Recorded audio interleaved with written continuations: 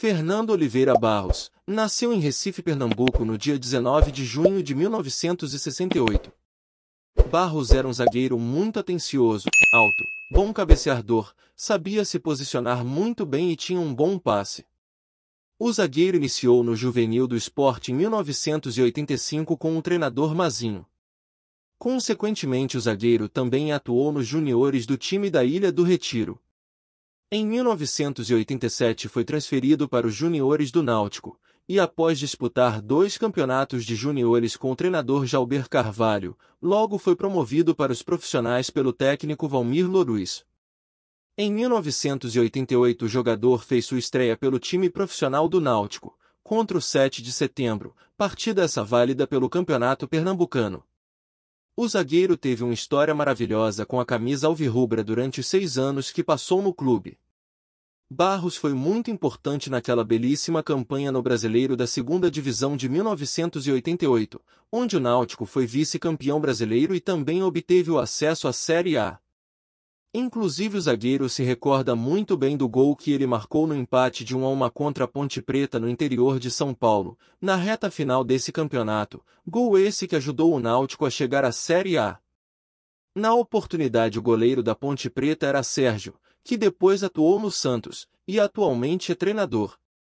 O zagueiro ainda viveu outros momentos bons no time do Náutico como o título de campeão pernambucano 1989, e também a boa campanha do clube na Copa do Brasil 1990.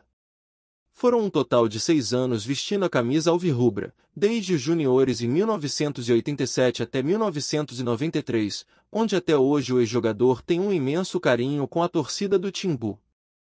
Em 1993 o zagueiro teve uma experiência muito grande fora do país, atuou 10 anos no futebol argentino.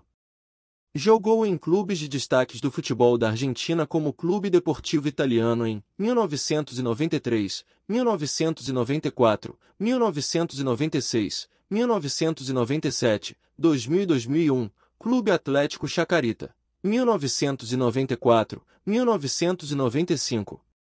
Argentino Quilmes, 2002, e Clube Atlético All Boys, 2003.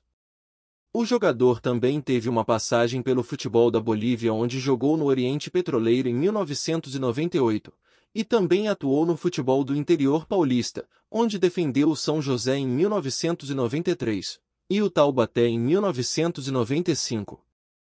Em 2004 o zagueiro retornou ao futebol brasileiro onde defendeu as equipes do América de Caporá, Paraíba e Recife Futebol Clube, onde encerrou a carreira aos 36 anos.